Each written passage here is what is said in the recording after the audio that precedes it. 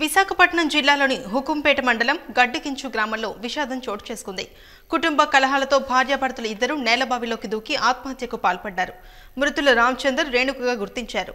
మృతదేహాన్ని తాళ్ళు సహాయంతో పైకి తీసి పోస్ట్మార్టంకు తరలించి పోలీసులు కేసు నమోదు చేసి దర్యాప్తు చేస్తున్నారు.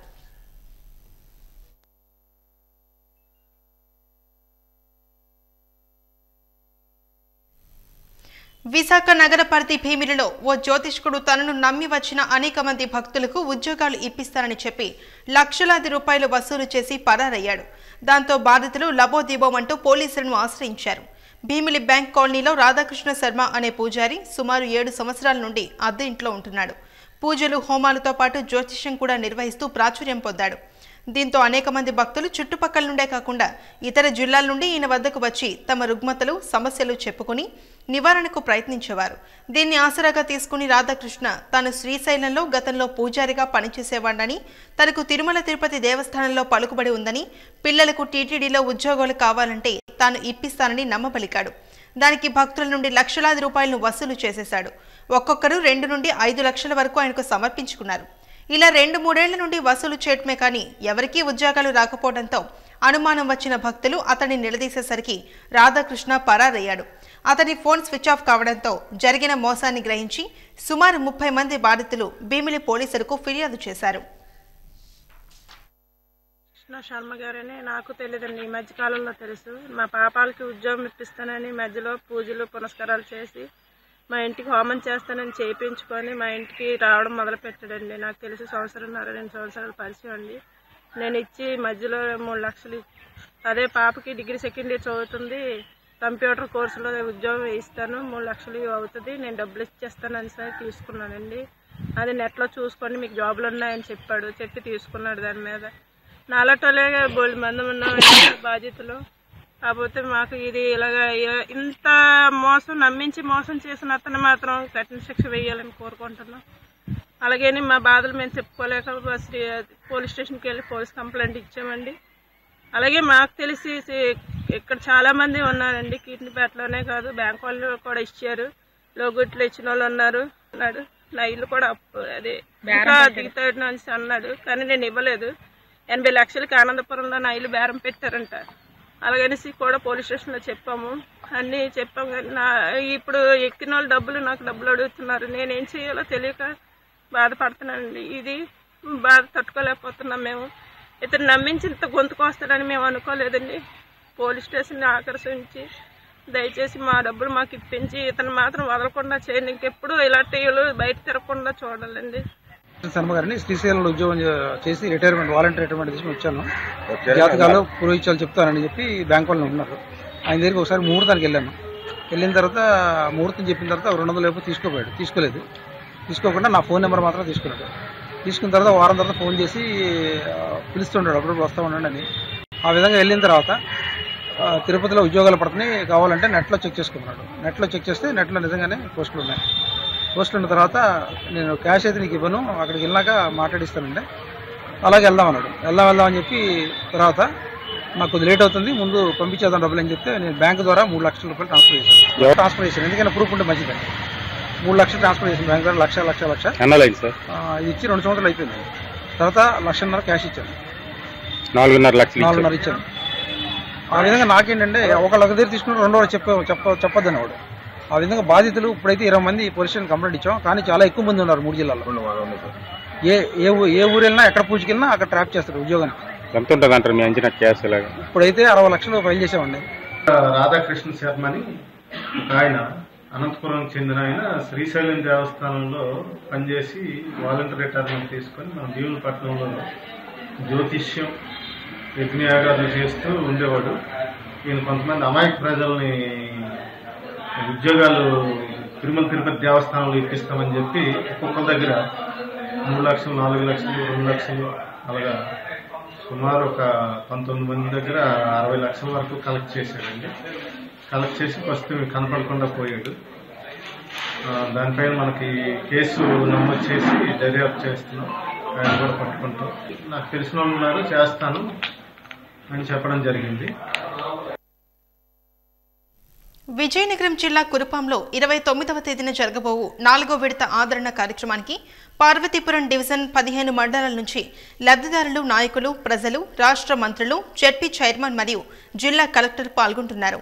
అందువలన ఏర్పాట్లపై అధికారులతో పార్వతీపురం ప్రాజెక్ట్ ఆఫీసర్ లక్ష్మీసా సమీక్ష నిర్వహించారు.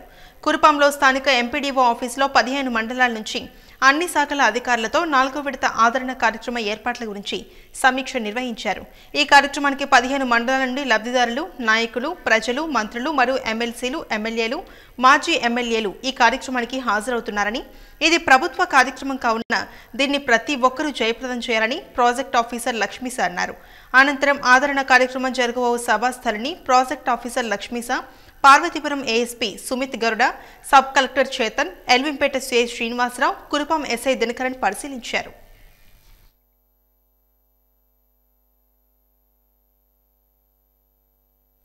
మహారాజా ప్రభుత్వ సంగీత కళాశాల శత జయంతి ఉత్సవాలను జాతీయ స్థాయిలో ఫిబ్రవరి మూడు నాలుగు ఐదవ తేదీల్లో ఘనంగా నిర్వహించనున్నామని జాయింట్ కలెక్టర్ వెంకటరమణారెడ్డి పేర్కొన్నారు. మహారాజా సంగీత కళాశాల శత జయంతి ఉత్సవాల ఏర్పాట్లను ఈ రోజు ఉదయం సంగీత కళాశాలలో సంగీత కళాశాల విద్యార్థులతో కలిసి ఆయన పరిశీలించారు. ఈ సందర్భంగా ఆయన మాట్లాడుతూ ఉత్సవ ఏర్పాట్లు అన్నీ పూర్తయ్యాయని పనులు వేగవంతమవుతున్నాయని స్పష్టం చేశారు. ఫిబ్రవరి మూడవ తేదీన శోభాయాత్ర కార్యక్రమంలో ఉత్సవాలు ప్రారంభమవుతాయని ఈ కార్యక్రమానికి రాష్ట్ర మంత్రులు ఎమ్మెల్యేలు హాజరవుతారని తెలియజేశారు. అదే రోజున మూడు వేల మంది విద్యార్థులు సంప్రదాయ వస్త్రధారణలో శోభాయాత్రలో పాల్గొంటున్నారని చెప్పారు. ఎనిమిది రకాల సంగీత వాయిద్యాలు సకటాల ప్రదర్శన ఉంటుందని తెలిపారు. ఉత్సవాల్లో ప్రతిరోజు సాయంత్రం మెగా ఈవెంట్లు ఏర్పాటు చేస్తున్నట్లు వెల్లడించారు. నాలుగవ తేదీన కూడా కార్యక్రమాలు ఉంటాయని ఐదవ తేదీన ముఖ్యమంత్రి చంద్రబాబు నాయుడు హాజరయ్యే అవకాశం ఉన్నట్లు తెలియజేశారు అయోధ్య మైదానంలో సంగీత ఉత్సవాల ముగింపు సభను నిర్వహిస్తామని తెలిపారు. ఉత్సవాలను ప్రజలంతా విజయవంతం చేయాలని పిలుపునిచ్చారు. మూడు నాలుగు ఐదు తేదీల్లో ఏవైతే సెంటనరీ సెలబ్రేషన్ జరుగుతున్నాయో మూడవ తేదీ ఒక గ్రాండ్గా మొత్తం శోభాయాత్ర ద్వారా మనం ఈ కార్యక్రమాన్ని ప్రారంభించుకోబోతున్నాం. శోభాయాత్రకు ఇద్దరు మినిస్టర్లు అదేవిధంగా మండల బుద్ధప్రసాద్ గారు అదేవిధంగా మన టూరిజం మినిస్టర్ గారు లోకల్ మన మూడు జిల్లాలు ఇక్కడ ఉన్నటువంటి మూడు జిల్లాలకు సంబంధించిన ఎమ్మెల్యేస్ మినిస్టర్లందరినీ కూడా ఇన్వైట్ చేయడం జరిగింది. వారందరితో పాటుగా దాదాపుగా ఒక మూడు వేల మంది పిల్లలు వాళ్ళంతా కూడా ఒక ట్రెడిషనల్ డ్రెస్సెస్లో వాళ్ళందరితో కూడా అక్కడ వస్తారు. అదేవిధంగా ఇక్కడ ఎనిమిది రకాలైనటువంటి సంగీత వాయిద్యాల ద్వారా ఇక్కడ మనం నేర్పి నేర్పడం జరుగుతూ ఉంది. వాటికి సంబంధించి ఒక్కొక్క వాయిద్యానికి సంబంధించి ఒక్కొక్క ట్యాబ్లూ మనం శకటాలను కూడా ఏర్పాటు చేసుకుంటున్నాము. ఆ శకటాల మీద లైవ్ పర్ఫార్మెన్స్ ద్వారా మొత్తం ఊరంతా కూడా మనం తిరగడం జరుగుతుంది. సంగీత కళాశాలను మొదలుపెట్టుకొని తిరిగి ఊరంతా తిరిగి మళ్ళీ సంగీత కళాశాలకు రావడం జరుగుతుంది. అది వచ్చిన తర్వాత ఇక్కడ మనం స్టార్ట్ చేస్తాము. ఓపెనింగ్ అయింది ఓపెనింగ్ అయిన తర్వాత ప్రతిరోజు కూడా ఈవినింగ్ దాకా ప్రతి కార్యక్రమము మినిట్ టు మినిట్ ప్రోగ్రామ్ కూడా ప్రిన్సిపల్గా తయారు చేస్తున్నారు ఆల్రెడీ. ప్రతిరోజు ఈవినింగ్ మాత్రం ఒక మెగా ఈవెంట్ ఉంటుంది. ఆ మెగా ఈవెంట్ కూడా ప్రిన్సిపల్ గారు ఫైనల్ చేయబోతున్నారు. సో మూడు రోజులకు గాను మూడు మెగా ఈవెంట్స్ ఉంటాయి. ప్రతిరోజు evening two hours two hours పాటు ఒక్కొక్క కార్యక్రమం ఉంటుంది. ఇక మార్నింగ్ నుంచి ఈవినింగ్ దాకా ఉన్నటువంటి ప్రోగ్రామ్స్ సాయంకాలం ఉన్నటువంటి ఆ మెగా ఈవెంట్ కూడా వీటి మొత్తాన్నంతా కూడా ప్రిన్సిపల్ గారు ఫైనల్ చేస్తున్నారు. అవి ఫైనల్ అయిన తర్వాత రేపటికి మనం ఇన్విటేషన్ ఫైనల్ చేస్తాము. ఇన్విటేషన్ ఫైనల్ చేసి అందరినీ ఇన్వైట్ చేయడం జరుగుతుంది. మూడవ తేదీ ఘనంగా మనం ప్రారంభిస్తాము. అదేవిధంగా నాలుగవ తేదీ ప్రోగ్రామ్స్ అన్నీ అయిన తర్వాత ఫైనల్గా ఫిఫ్త్ డే సీఎం గారిని కూడా మనం ఇన్వైట్ చేయడం జరిగింది. సో ఆ ప్రోగ్రామ్ ఇంకా మనకు ఫైనల్ కావాల్సి ఉంది. అది ఫైనల్ అయినట్లయితే మనం అయోధ్య మైదానంలో చాలా గ్రాండ్గా ఏర్పాటు చేసి ఆ రోజు సుశీలమ్మ గారికి కావచ్చు ఘంటసాల గారి కుమారుడు లేదా వాళ్ళ భార్య వీళ్ళందరినీ కూడా మనం సన్మానించుకునేటువంటి కార్యక్రమాలు కూడా మనకు ఉన్నాయి ఇక్కడ. సో వాటన్నింటినీ చేస్తూ దీన్ని ఒక జాతీయ స్థాయిలో ఒక కార్యక్రమాన్ని ఏర్పాటు చేయాలని ప్రభుత్వం నిర్ణయించింది. అందుకు అనుగుణంగా అన్ని రకాలైనటువంటి పట్టణంలోని మంచుకొండవారి వీధిలో స్వచ్ఛత కరువైంది. మురుగునీటి కాలువల్లోని మురుగునీరు ఎక్కడికక్కడే నిలవ ఉండిపోవడంతో స్థానికులు అవస్థలు పడుతున్నారు. మురుగు కాలువలోని మురుగుని పారిశుధ్య కార్మికులు సక్రమంగా తీయకపోవడంతో మురుగునీరు అక్కడే ఉండిపోయి ఆ ప్రాంతమంతా దుర్వాసన వెదజల్లుతోంది. ఈ సందర్భంగా స్థానికులు మాట్లాడుతూ ఎన్నోసార్లు పారిశుధ్య సమస్యను ప్రజాప్రతినిధుల దృష్టికి తీసుకుని వెళ్ళినా తమ సమస్య పరిష్కారం కాలేదన్నారు. టాయిలెట్స్ మురుగు కాలువల్లో వేసి ఆ ప్రాంతాన్ని అపరిశుభ్రం చేస్తున్నారన్నారు. ఏళ్ళ తరబడి సమస్య ఉన్నా పట్టించుకోవటం లేదని స్థానికులు ఆవేదన వ్యక్తం చేస్తున్నారు. మంచుకొండ వారి వీధిలోని సమస్యను పరిష్కరించాలని వారంతా కోరుతున్నారు.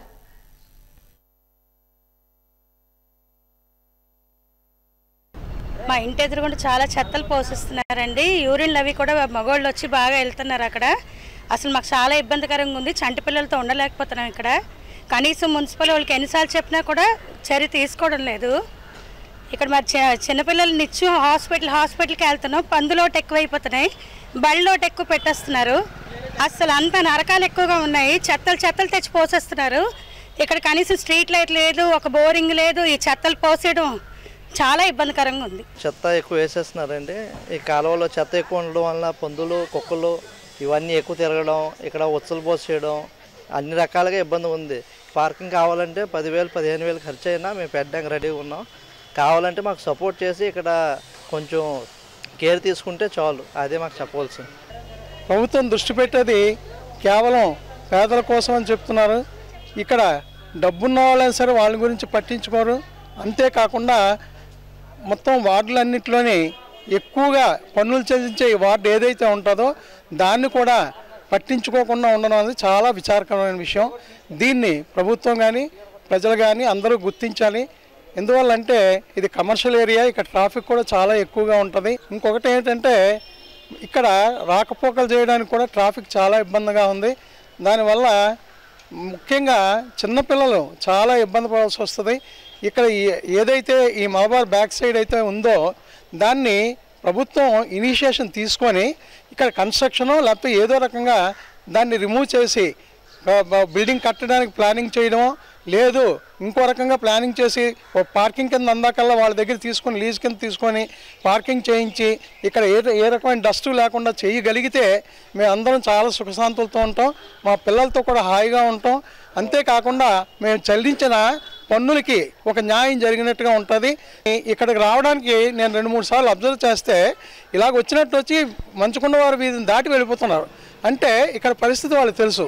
ఎవరైనా పెద్దలు వస్తున్నారంటే వాళ్ళని కూడా తప్ప పక్కకి తిప్పి తీసుకెళ్తున్నారంటే మరి దీని మీద ఉన్న మీకు ఏంటి చిన్న చిన్న చూప? లేదు ఈ ప్రాబ్లం సాల్వ్ చేయలేమన్న ఇబ్బందా? ఏదో ఒకటి మాకు ఖచ్చితంగా చెప్పవలసిందిగా మేము ప్రార్థిస్తాం ప్రభుత్వం డ్వాక్రా మహిళలకు ఆసరాగా నిలిచింది. మహిళల ముంగిట వరాల మూట విప్పింది. రెండో విడతగా డ్వాక్రా మహిళలకు పసుపు కుంకుమ కింద ఒక్కొక్కరికి పదివేల రూపాయలు ఒక స్మార్ట్ ఫోన్ ఇవ్వనున్నట్లు ముఖ్యమంత్రి చంద్రబాబు ప్రకటించారు. దీంతో డ్వాక్రా మహిళలంతా హర్షం వ్యక్తం చేస్తున్నారు. ఫిబ్రవరి నెలలో చెక్కుల పంపిణీ మూడు దశలో పదివేల రూపాయలను చెల్లించనున్నారు. డ్వాక్రా మహిళలకు ప్రభుత్వం కానుకనిచ్చి వారి ముఖాల్లో చిరునవ్వులు చిందించింది. వారి కుటుంబాలకు ఆర్థికంగా భరోసా కల్పించి బలోపేతం చేసే దిశగా రెండో విడత పసుపు కుంకుమ పథకాన్ని సిద్ధం చేస్తోంది.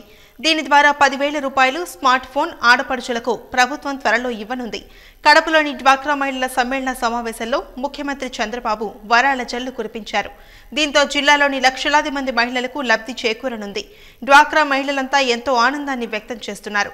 గతంలో కూడా తమకు పసుపు కుంకుమ కింద పదివేల రూపాయలను తెలుగుదేశం ప్రభుత్వం అందజేసిందని మళ్ళీ ఇప్పుడు పదివేల రూపాయలు తమకు ఇస్తారని చెప్పడం ఎంతో హర్షించదగ్గ విషయమని వారంతా హర్షం వ్యక్తం చేస్తున్నారు.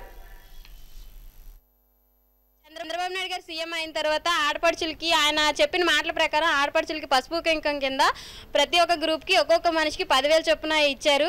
అందుకు మేము అతనికి కృతజ్ఞతలు తెలుపుకుంటున్నాం. అలాగే అతనికి రుణపడి ఉంటాం. ఆ చంద్రబాబు నాయుడు గారు అలాగే ఈ పదివేలు ఇవ్వడం ద్వారా మా ఇంట్లోకి ఎన్నో సౌకర్యాలు మేము చేకూర్చుకోవడం జరిగింది. అలాగే ఒకే ఫ్యామిలీలో ఇద్దరు మెంబర్స్ ఉన్నప్పటికీ కూడా మాకు మనిషికి పదివేలు చొప్పున రావడం మా కనీస అప్పులు తీర్చుకోవడానికి ఉపయోగపడి అందుకు మీకు మేము సీఎం గారికి థ్యాంక్స్ చెప్పుకుంటున్నాం. గౌరవ ముఖ్యమంత్రి అయిన చంద్రబాబు నాయుడు గారు మా గ్రూప్కి మనిషికి పదిహేను వేల రూపాయలు మొత్తం లక్ష రూపాయలు ఈ పసుపు కుంకుమ కింద ఇచ్చారు. నారా చంద్రబాబు నాయుడు గారికి ధన్యవాదాలు తెలుపుకుంటాను మా గ్రూప్ తరఫున. మాకు చంద్రన్న గారు వేసిన పసుపు కుంకాలు తర్వాత ఆదాన స్కీమ్ మీద మిషన్లు అన్నీ అందాయి. ఇక మీదట కూడా చంద్రబాబు నాయుడు రావాలని మేము మనస్ఫూర్తిగా కోరుకుంటాం. మా మహిళల తరఫున అతను అతనికి అంటే మాకు ఏ విషయం తెలిసింది కాదండి. ఇప్పుడు చంద్రబాబు ప్రతి చిన్న విషయం కూడా మా దాకా వస్తుంది. ఈ మున్సిపాలిటీ తరఫున కూడా మెప్మా తరఫున కూడా అన్ని విషయాలు మాకు తెలుస్తున్నాయి. తెలుగుదేశం తరఫున మేము బాగా అన్ని విషయాలు తెలుసుకొని మహిళ పోయి అదే వంటింటిగా పరిమితి కాకుండా బయటికి తీసుకొచ్చి మమ్మల్ని డెవలప్ చేయడానికి చంద్రబాబు చాలా కృషి చేసి అతను మాకు ధన్యవాదాలు. పదివేల రూపాయలు అందాయండి. ఇంకా మళ్ళీ పదివేల రూపాయలు వేస్తున్నారు మాకు ట్యాబ్ ఇస్తున్నారు. మా మహిళలకు ఆనందంతో మాటలు కూడా రావటం లేదు. ఇక మీద కూడా చంద్రబాబు రావాలని మా మహిళలందరి తరఫున కూడా మేము కోరుకుంటున్నాం. మా అభినందనలు. వన్ జీరో ఫోర్ ఉద్యోగులకు తక్షణమే నూట యాభై ఒకటి జీవోను అమలు చేయాలని వన్ జీరో ఫోర్ ఉద్యోగుల సంఘం జిల్లా అధ్యక్షులు బాలరాజు డిమాండ్ చేశారు. నేటికి వన్ జీరో ఫోర్ ఉద్యోగుల ధర్నా ఆరవ రోజుకు చేరుకుంది. గడిచిన ఐదు రోజులు వివిధ రూపాల్లో తమ నిరసనను ప్రభుత్వానికి తెలియజేశారు.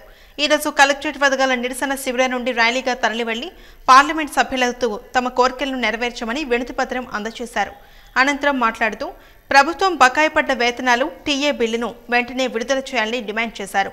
పది సంవత్సరాలు సర్వీస్ కాలం పూర్తయినా తమకు ఉద్యోగ భద్రత కల్పించలేదని ఆవేదన వ్యక్తం చేశారు. తక్షణమే తమ సమస్యను పరిష్కరించాలని వారంతా కోరుతున్నారు. త్రీ అమలు చేసిన వాళ్ళందరికీ GO number one fifty one కూడా వర్తిస్తుంది. కానీ GO number one fifty one వచ్చేసరికి వెనుకడుగు వేస్తున్నారు. ఎందుకని ఎన్నోసార్లు అధికారుల దృష్టికి తీసుకొని వెళ్తున్నాం. అలాగే దీనిని ప్రైవేట్ సంస్థలు అప్పచెప్పారు ఆ ప్రైవేట్ సంస్థ దృష్టికి కూడా తీసుకెళ్ళాం ఎన్నిసార్లు తీసుకెళ్ళినా వాళ్ళు పట్టించుకోవట్లేదు. ఎన్ని ఎన్నోసార్లు సమ్మెలు చేసాం. సమ్మెలు చేసిన తర్వాత వాళ్ళు ఏం చేశారంటే మాకు ఏప్రిల్ నుంచి అమలు చేస్తారని గౌరవ శ్రీ చంద్రబాబు నాయుడు గారు చెప్పారు. చెప్పారు కానీ ఇంతవరకు అమలు కాలేదు. ఆ పిఎస్ఎంఆర్ఏ కడితే ఎనిమిది నెలల ఫిబ్రవరి నుంచి అమలు చేస్తానంటుంది మాకు రావాల్సింది మా ఏప్రిల్ నుంచి. అంటే ఏప్రిల్ నుంచి ఇవ్వకుండా ఫిబ్రవరి నుంచి ఇస్తానంటుంది. ఫిబ్రవరి నుంచి కూడా మేము సమ్మె చేయకుండా సక్రమంగా డ్యూటీ చేసుకుంటేనే ఎటువంటి మీడియాకు కూడా ఎక్స్పోజ్ అవ్వకుండా ఉంటేనే ఇస్తామని మమ్మల్ని బెదిరిస్తుంది. ఇటువంటి బెదిరింపులలోనే మీ ఉద్యోగస్తులు ఎంతకాలం ఉద్యోగం చేయాలో మాకు అర్థం కావట్లేదు. దయచేసి మా యొక్క పరిస్థితులను అర్థం చేసుకొని మాకు రావాల్సినవన్నీ ఇచ్చి కనీసం పర్మనెంట్ చేయమని అడుగు పర్మనెంట్ కానీ అడగట్లేదు. మాకు పర్మనెంట్ చేయాలి. పది సంవత్సరాలు అయింది పర్మనెంట్ అవసరం లేదు కానీ మా జీవో మాకు ఇచ్చి చేస్తే చాలని మేము వేడుకుంటున్నాం. ప్రభుత్వం కానీ యాజమాన్యం కానీ ఇటు ప్రజల పట్ల ఇటు పేద గ్రా- గ్రామీణ పేద ప్రజల పట్ల వాళ్ళ ఆరోగ్యం పట్ల కానీ ఇటు పదహారు వందల కుటుంబాల చంద్రన సంచార ఉద్యోగుల పట్ల కానీ ఏమాత్రం చిత్తశుద్ధి కానీ కలిగి ఉన్నట్టయితే ప్రభుత్వం కానీ ఇటు యాజమాన్యం కానీ ప్రభుత్వ స- సత్వర స- చేపట్టి న్యాయం చేయాలని చెప్పి కోరుతున్నాం. ఇప్పుడు జీవో డ్వాక్రా మహిళలకు తొంభై రెండు లక్షల కుటుంబాలకు స్మార్ట్ ఫోన్లు అంటుంది. అలాగే పదివేల రూపాయలు అకౌంట్లో వేస్తామని చెప్తున్నా ఒక్కొక్క మహిళకి ఇస్తామంటున్నారు. కానీ ఇవన్నీ మా సమస్య పరిష్కరించాలంటే మూడు కోట్ల రూపాయలు ఉంటే ఈరోజు పదహారు వందల కుటుంబాలకి పూర్తి స్థాయిలో న్యాయం జరిగే పరిస్థితులు ఉన్నాయి. అయినా ఎప్పటికైనా ఈ మూడు కోట్ల రూపాయలు భరించడానికి ప్రభుత్వం ఎందుకు ముందుకు రావట్లేదు మాకు అర్థం కావట్లేదు. ఈ పది ఇరవై ఒక్క వెయ్యి వందల పదహారు కోట్ల రూపాయలు డ్వాక్రా మహిళలకు ఇవ్వడానికి స్మార్ట్ ఫోన్లు ఇవ్వడానికి రకరకాల బూట కబుర్లు చెప్తుంది. మా యొక్క సమస్యను ఈ ఆర్థిక పరిస్థితిని కొల్లగొడుతూ ఈ పదహారు వందల కుటుంబాలను ఈ రోజు రోడ్డున పెట్టేటట్టు చేస్తున్నటువంటి ఈ పిఎస్ఎంఆర్ యాజమాన్యం కానీ ఈ ఆంధ్రప్రదేశ్ రాష్ట్ర ప్రభుత్వం కానీ ఈ ఈ- విధంగా మొండిగా ఉండడం మంచిది కాదని చెప్పి చెప్తున్నాం నాలుగేళ్ళ తొమ్మిది నెలల టీడీపీ పాలనలో రాష్ట్రం అధోగతి పాలైందని YSRCP Uttarandhra convener MLC Kolagatla Veerabhadraswamy విమర్శించారు. పట్టణంలోని రాజీవ్ నగర్ కాలనీలో నిర్వహించిన నిన్ను నమ్మం బాబు కార్యక్రమంలో కోలగట్ల ముఖ్య అతిథిగా పాల్గొని మాట్లాడారు. ప్రజా వ్యతిరేకతను ముట్టగట్టుకున్న చంద్రబాబును ప్రజలు నమ్మే పరిస్థితిలో లేరన్నారు. రెండు వేల పద్నాలుగు ఎన్నికల్లో మోసపూరిత హామీలతో గద్దెనెక్కిన చంద్రబాబు అన్ని వర్గాల ప్రజలను మోసం చేశారని ఆరోపించారు. రుణమాఫీ అవుతుందని నమ్మిన మహిళలను నట్టేట ముంచారని మండిపడ్డారు. అసలుకు పోయి వడ్డీలు కట్టలేక మహిళలు నానాయాతన పడుతున్నారని ఆవేదన వ్యక్తం చేశారు.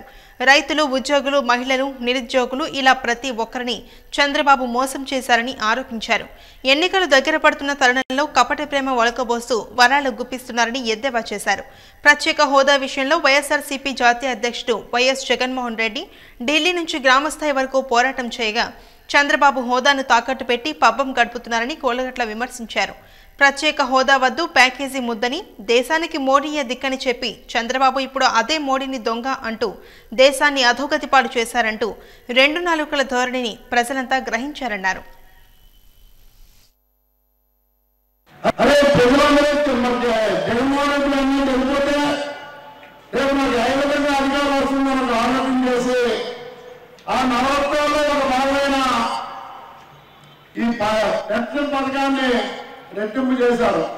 రెండు నెలలు ఎన్నికలు ఉంటుండగా రెట్టింపు చేసిన చంద్రబాబు ఈ రెండు నెలలే ఇస్తావా? ఎన్నికలు అయిన తర్వాత కూడా ఇస్తావా అని ప్రజలు ఆలోచన చేస్తే ప్రజలందరూ ఒకటే మాట చెప్తున్నారు. ఈ రెండు నెలలు ఇస్తాడు ఎన్నికలు అయిన తర్వాత మళ్ళీ మనకేమీ చేయడం అని. అందుకే యావత్ ప్రజానికం ఈ ఆంధ్ర రాష్ట్రంలో రావాలి జగన్ కావాలి జగన్ అని ఎలగొడుతున్నారు నిన్ను నమ్ము బాబు. నీ పరిపాలనలో నిన్ను నమ్మి నట్టేట మునిగా నువ్వు ఏ మాటలు చెప్పినా నిన్ను నమ్మం బాబు అని యావత్ ఆంధ్ర రాష్ట్ర ప్రజలు కూడా చెప్తున్న పరిస్థితి. మరి ఈరోజు మళ్ళీ పసుపు కింద పదివేల రూపాయలు ఇస్తామని చెప్తున్న పెద్ద మనిషి నాలుగు సంవత్సరాలు తొమ్మిది నెలల కాలంలో నీ పరిపాలన సాగే మరి నువ్వు ఇచ్చిన హామీ రుణాలు పూర్తిగా మాఫీ చేస్తానని చెప్పిన పెద్ద మనుషులే ఈ రోజు నీకు డబ్బు ఎక్కడి నుంచి వస్తుందని అడుగుతున్నావు. నువ్వు నిజంగా చిత్తశుద్ధి ఉంటే నీలో నీతి నిజాయితీ ఉంటే ఇచ్చిన మాట ప్రకారం నువ్వు ఎన్నికలు జరిగిన వెంటనే మహిళలకు రుణాలు మాఫీ చేసి మరలా కొత్త రుణాలు ఇస్తే ఈ పాటికే మహిళలందరూ వారు సశక్తితో వారు కాళ్ళ మీద ఆర్థికంగా ఎదిగి నిలబడేవారా లేదా అని అడుగుతున్నాం. కలియుగ భీముడు కోడి రామ్మూర్తి నాయుడు ఆరాధనోత్సవాలు పట్టణంలో ఘనంగా జరిగాయి. కోడి రామ్మూర్తి చిత్రపటంతో ఊరేగింపు కార్యక్రమాన్ని నిర్వహించారు. సాము గరడీలు మేళతాళాలతో ఊరేగింపు కార్యక్రమం ఎంతో ఉత్సాహంగా చేపట్టారు. ఈ కార్యక్రమానికి ముఖ్య అతిథిగా వచ్చిన జాయింట్ కలెక్టర్ వెంకటరమణారెడ్డి కోడి రామ్మూర్తి పార్క్ పరిసరాలను పరిశీలించారు. జిల్లా స్థాయి తైక్వాండో పోటీలను చేసి ప్రారంభించారు. ఈ సందర్భంగా ఆయన మాట్లాడుతూ అంతర్జాతీయ స్థాయిలో పేరు ప్రఖ్యాతలు తీసుకుని వచ్చిన ఘనత కోడి రామనాయుడికే దక్కుతుందని ఆయనను స్ఫూర్తిగా తీసుకోవాలని యువతకు పిలుపునిచ్చారు. కోడి రామ్మూర్తి జిమ్ చాలా అధ్వాన పరిస్థితిలో ఉందని ఆవేదన వ్యక్తం చేశారు. పార్క్ పరిసరాలను శుభ్రం చేయాలని ఆయన సూచించారు. జిమ్లోని ఆధునిక పరికరాలను ఏర్పాటు చేసి ఈ జిమ్ అభివృద్ధికి కృషి చేస్తానని హామీ ఇచ్చారు. జిల్లా కలెక్టర్ హరి జవహర్లాల్ దృష్టిలో పెట్టి ఈ పార్క్ అభివృద్ధి చేస్తామని మున్సిపల్ అధికారుల సమన్వయంతో బాగు చేస్తామని తెలియజేశారు. ఈ కార్యక్రమంలో నిర్వాహకులు పెద్దింటి లక్ష్మీనారాయణ తదితరులు పాల్గొన్నారు.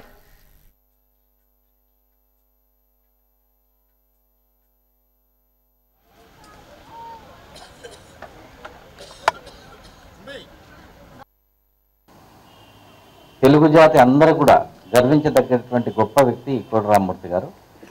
అతను ఒక తెలుగు ప్రజలకే కాకుండా దేశవ్యాప్తంగా కాకుండా అంతర్జాతీయంగా కూడా మన భారతదేశానికి ఒక పేరు తెచ్చినటువంటి వ్యక్తి.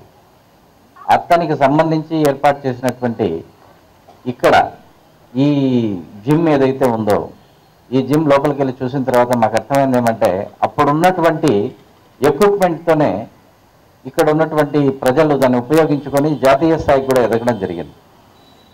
అంటే ఇక్కడున్న ఈ నేలలోనే ఒక శక్తి ఉన్నట్లు నాకు అనిపిస్తూ ఉంది. ఇక ఇటువంటి పాతకాలం జిమ్ కాకుండా ఇప్పుడున్నటువంటి కొత్త టెక్నాలజీతో ఉన్నటువంటి జిమ్లు కానీ ఇక్కడ మనం ఇవ్వగలిగితే వండర్స్ ఇక్కడ క్రియేట్ చేస్తారనే దాంట్లో ఎటువంటి సందేహం కూడా నాకు లేదు. దీన్ని చక్కగా వినియోగించుకోవాల్సిన అవసరం అయితే హండ్రెడ్ పర్సెంట్ ఉంది అందరికీ కూడా. దీనికి సంబంధించి ఈరోజు మేము చూసినటువంటి విషయాలన్నీ కూడా ఒకసారి కలెక్టర్ గారి దృష్టికి కూడా ఖచ్చితంగా తీసుకోవడం జరుగుతుంది ఇది తీసుకెళ్ళి మనం ఇక్కడ ఒక ఆధునిక జిమ్ ఏర్పాటు చేయడానికి ఏమేమి అవకాశాలు ఉంటాయి అవన్నీ కూడా చెక్ చేయడం జరుగుతుంది. అదేవిధంగా మున్సిపల్ కమిషనర్తో కూడా మాట్లాడదాము. మాట్లాడి ఈ బిల్డింగ్కి సంబంధించి మనం ఏమేమి అవసరాలు ఉంటాయో వాటన్నింటినీ కూడా తప్పనిసరిగా మనం వాటన్నింటినీ కూడా ఇక్కడ ఫుల్ఫిల్ చేసుకొని భీమిలి మున్సిపాలిటీని జీవీఎంసీలో విలీనం చేస్తే అభివృద్ధి పరుగులు తీస్తుందని ప్రచారం చేశారు. ఇందుకోసం స్థానికులకు అరచేతిలో స్వర్గం చూపించారు. పర్యాటక రంగానికి పెద్దపీట వేస్తున్నామని చెబుతున్న మంత్రి మాటలు నీటి మీద రాతలుగానే మిగిలిపోయాయి. అభివృద్ధి అటు ఉంచితే ఉన్న వాటిని పరిరక్షించుకోవాల్సిన బాధ్యత కూడా అటు పాలకుల్లోనూ ఇటు అధికారుల్లోనూ లేదనడానికి ఇదే ఉదాహరణ.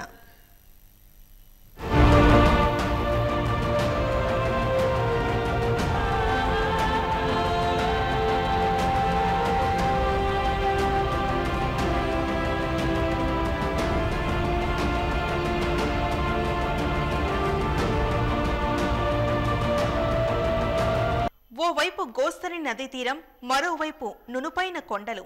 నగరాన్ని వీక్షించే వీలుగా ఉండే తగరుపు వలస రెండవ వార్డు కొండపై ఉన్న ఈ పార్కును రెండు వేల ఐదులో ప్రజల ఆహ్లాదం కోసం అప్పటి మున్సిపాలిటీ పాలకవర్గం లక్షలు వెచ్చించి అభివృద్ధి చేసింది.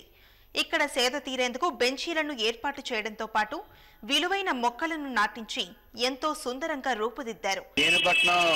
మున్సిపల్ కార్పొరేషన్ పరిధిలో ఇక్కడ కొండపేట కాలనీలో ఒక పార్క్ ఉందండి. కొండపేట కాలనీలో ఒక కొండ నీళ్ళ ట్యాంక్. అక్కడ నుంచి పక్కనే గోత్రి నది కూడా కనిపిస్తుంది. గతంలో మున్సిపాలిటీగా ఉండేటప్పుడు ఇప్పుడు కార్పొరేషన్ గ్రేటర్ విశాఖ మున్సిపాలిటీ అంతకుముందు మున్సిపల్ మున్సిపాలిటీగా ఉండేటప్పుడు భీమిలిలో అప్పటి మున్సిపల్ చైర్మన్ శైలేంద్ర రెడ్డి గారు దాన్ని గుర్తించి ఇక్కడ నుంచి ఒక మంచి వ్యూ పాయింట్ ఉంది. ఇది కొంచెం ఆహ్లాదకరమైన వాతావరణం ఉంది ఇక్కడ. దీన్ని బాగా డెవలప్ చేయొచ్చు అని చెప్పి దాన్ని ఒక పార్క్గా తీర్చిదిద్దారు. అయితే ఇది కేవలం మూన్నాళ్ళ ముచ్చటగానే మిగిలింది. ఏళ్ళు గడుస్తున్నా దీని అభివృద్ధికి అధికారులు ఎలాంటి చర్యలు చేపట్టలేదు. స్కూలు సెలవుల్లో మరియు పండగ సమయాల్లో పిల్లలు ఆడుకోవటానికి పెద్దలు సేద తీరడానికి ఎంతో ఉపయోగపడే ఈ ప్రాంతం నిర్వహణ లోపం కారణంగా ఆకతాయిలకు అడ్డాగా మారిపోయింది. చీకటి పడితే అసాంఘిక కార్యకలాపాలకు నిలయమైపోయింది. ప్రస్తుతం భీమినిపట్నాన్ని గ్రేటర్ విశాఖ మున్సిపల్ కార్పొరేషన్లో విలీనం చేశారు. అంటే గ్రేటర్ విశాఖపట్నంలో విలీనం చేయగానే ఇంకా గ్రేట్గా ఉంటుంది. మా మున్సిపాలిటీ ఇంకా బాగా అభివృద్ధి చెందుతుంది. ఇంకా పాత రోజుల కంటే మంచి రోజులు వస్తాయని మేము అందరం ఆశించాం. కానీ ప్రస్తుతానికి ఏం జరుగుతుందంటే ఆ గ్రేటర్ విశాఖ మున్సిపాలిటీలో కలిపిన తర్వాత ఉన్న వాటిని కూడా నిర్లక్ష్యం చేశారు. ఈరోజు ఆ పార్క్ అంతా కూడా ఒక చెత్త కుండీలోకి నిలయంగా మారిపోయింది. అసాంఘిక కార్యకలాపాలకు అడ్డగా మారిపోయింది. అటువంటి అందమైన పార్క్ని ఆ ప్రాంతాన్ని మనం మనకున్న సోర్సెస్ని మనం డెవలప్ చేసుకొని మనం అభివృద్ధి చెందాల్సింది పోయి తిరిగి దాన్ని ఆ, అసలు నిర్లక్ష్యానికి గురి చేసి ఉన్నది కాస్త పాడైపోయే పరిస్థితి వచ్చింది. కొత్త వాటిని అభివృద్ధి చేస్తాం కోట్లాది రూపాయలు ఖర్చు చేస్తున్నాం అని చెప్పుకొస్తున్న పాలకులు వీటిపైన కూడా దృష్టి పెట్టి అభివృద్ధి చేయాలని స్థానికులు కోరుతున్నారు. ఈ విషయాన్ని ఇప్పటికైనా సరే అధికారులు దాన్ని గుర్తించి ఆ, దాన్ని అందంగా తీర్చిదిద్దితే పిల్లలకి ఆహ్లాదకరమైన వాతావరణం అక్కడ ఉన్న చుట్టుపక్కల ఉన్న వాళ్ళకి ఒక మంచి వాకింగ్ ట్రాక్ ఇటువంటిదన్నీ డెవలప్ చేయొచ్చు. పట్టణంలో ఫుడ్ స్ట్రీట్ ఏర్పాటు చేయడానికి ప్రణాళికలు సిద్ధం చేస్తున్నట్లు మున్సిపల్ కమిషనర్ టి వేణుగోపాల్ పేర్కొన్నారు. ఆయన మీడియాతో మాట్లాడారు. ఒకే దగ్గర ఆహార పదార్థాలు అన్ని దొరికే విధంగా ఒకే ప్రాంతంలో ప్రతిరోజు సాయంత్రం ఏడున్నర నుండి పదకొండు గంటల వరకు ఫుడ్ స్ట్రీట్ ఏర్పాటు చేయనున్నామన్నారు. వీటి కోసం ప్రజాభిప్రాయ సేకరణ తీసుకుంటున్నామన్నారు. పట్టణంలో కోట వెనుక ఉన్న ఎల్లమ్మ తల్లి గుడి నుండి గుడిజాడ విగ్రహం వరకు ఫుడ్ స్ట్రీట్ ఏర్పాటు చేయనున్నామన్నారు. ట్రాఫిక్ ఇబ్బంది లేకుండా చర్యలు తీసుకుంటున్నామన్నారు. ప్రజలు సలహాలు సూచనలు చేస్తే త్వరలో అమలు చేయనున్నట్లు మీడియాకు వివరించారు.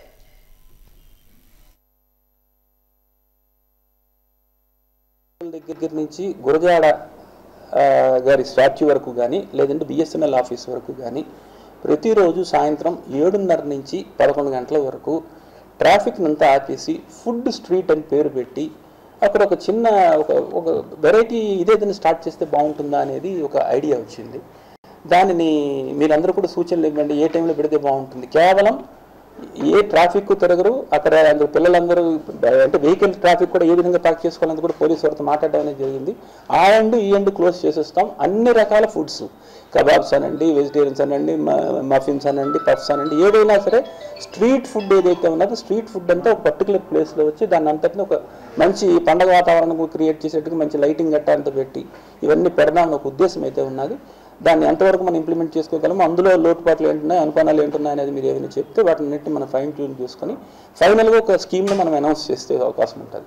కేవలం దీని ఏదో రాబడి కోసమో లేకపోతే ఆదాయ వనరంగా మేమేం చూడటం లేదు కేవలం ప్రజలందరికీ ఒక ఒక స్పాట్ లాగా ఏదైనా సరదాగా ఫ్యామిలీతో పాటు వచ్చి తిరిగి సరదాగా గంట సేపు స్పెండ్ చేయడానికి ఏదైనా అవకాశం ఉంటుందేమో అనేది ఒక ఆలోచన మాత్రమే. కనుక దాంట్లో వచ్చే ఇబ్బందులు ఏంటనేది కూడా మేము ఇంకా లెక్క వేస్తున్నాము. మున్సిపాలిటీ తరపు నుంచి హండ్రెడ్ పర్సెంట్ ఏదైతే క్లీనింగ్ ఆస్పెక్ట్స్ ఉన్నాయో వాటినన్నింటినీ వాటినన్నింటినీ రెగ్యులేట్ చేయడం కానీ వెహికల్స్ని వీటినన్నింటినీ మేము కొంతవరకు ప్లాన్ వేసుకున్నాం. కాకుండా ఇంకేమైనా రకరకాల సూచనలు ఏమైనా వస్తే వాటన్నిటిని తీసుకొని ఇంకా దీన్ని కొంచెం మార్చి ఊరికి ఏదైనా ఒక కొత్త యాక్టివిటీని కానీ మనం తీసుకొని వస్తే వాజీ వార్తలు ముగించే ముందు ముఖ్యాంశాలు మరోసారి. సంగీత కళాశాల ఉత్సవాల ఏర్పాట్లను పరిశీలించిన జాయింట్ కలెక్టర్ వెంకటరమణారెడ్డి. శత జయంతి ఉత్సవాలకు అంతా సిద్ధమని స్పష్టం.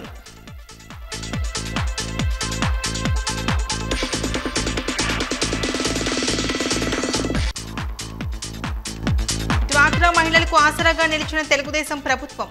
పసుపు కుంకుమ ప్రకటనతో హర్షం వ్యక్తం చేస్తున్న డ్వాక్రా మహిళలు.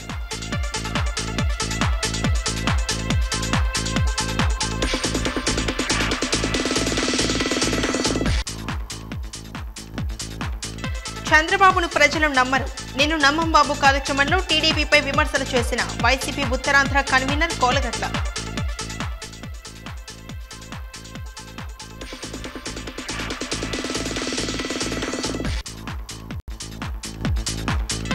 ఘనంగా కోడి రామ్మూర్తి నాయుడు ఆరాధనోత్సవాలు. కోడి రామ్మూర్తి నాయుడిని ఆదర్శంగా తీసుకోవాలన్న వక్తలు.